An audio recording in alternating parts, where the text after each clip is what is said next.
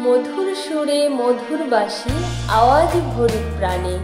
তোমার আশিস ভরিয়ে রেখো এই বিশাল জনভুবনে।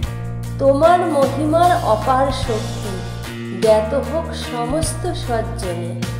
তুমি অসীম রূপে ভরবে আলোক রশ্মি। তাদের জীবন ধন্য হবে, বিশ্বাস ও ভয় যদি থাকে তোমাদের।